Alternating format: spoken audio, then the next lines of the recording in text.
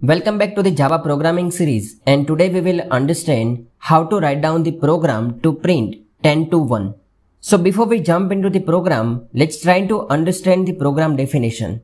So we have to print 10 to 1. So we know that how to print 1 to 10, right? So I can just write down the for loop to print 1 to 10. So let's say for integer i is equal to 1, i less than or equal to 10 and i plus plus and I can just print the value of i. So it will print the numbers from 1 to 10.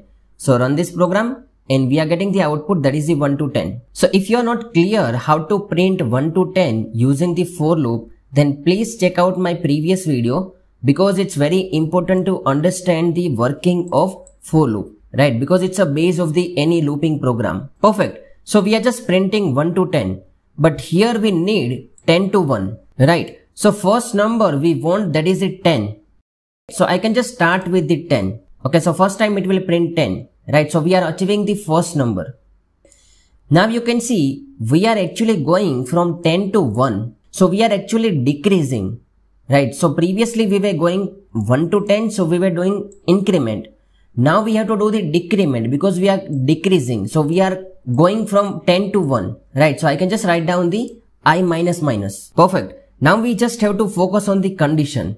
So where we have to end the program. So when we are reaching to the 1, we have to print it and after that we have to end the program. So we can just write down the condition while i is greater than or equal to 1. So while we are decrementing from 10 to 1, we have to execute this for loop till the time value of i is greater than 1. So while we are decrementing from 10 to 1, the value of i should be greater than or equal to 1. If it is going less than 1, that means 0, then we have to break this for loop. So I have to start from 10, I have to decrement the value and my condition will be till the time i greater than or equal to 1. When value of i is going below 1, then we have to exit this for loop, right? So let me just try to run this program and it will print number from 10 to 1. Perfect. So let's try to understand this with the diagram. So you can see here, if we want to print 1 to 10, so if we are starting from 1 and if we want to print till 10, so this is our threshold value. So first of all, we are doing increment, right? Because 1 to 10, so it's a increment, right? So whenever we are doing increment, we have to print all the values till less than or equal to 10, right? We want to print all the above value. So we are just writing the threshold that is a less than or equal to 10. But when we are starting from 10 and when we are going till 1, our threshold is here. So we have to print all the value which is greater than 1. Okay, we have to print all this value. Whenever we are going 0, we don't have to print. So it's whenever we are doing decrement, it's a greater than or equal to 1. And whenever we are doing increment, it's a less than or equal to 10. Right? Perfect. Now let's try to understand the execution of the program. So first of all, we are starting the value of i with the 10.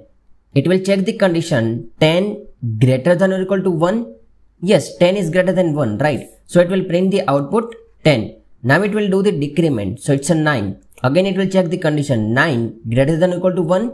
Yes, condition is true. So it will print the value of i, which is 9. Again, it will do i minus minus. So it's a 8. Condition is true. Yes, 8 is greater than 1, right? So it will print 8, 7, 6, 5 till the time it will print the 1 and it will check 1 is greater than or equal to 1. Yes, 1 is greater than or equal to 1. So condition is true. It will print the value of i which is 1. Now it will do i minus minus. Now i is 0. So 0 is greater than 1 greater than or equal to 1 no, condition is false, right? So it will just exit the for loop and it will exit the program because we don't have any statement after the for loop. So output will be 10 to 1. So that's it for today's video. I hope you enjoyed it. If you have any comments regarding this video, try to write down into the comment section. Thanks everyone and we'll see you into the next video.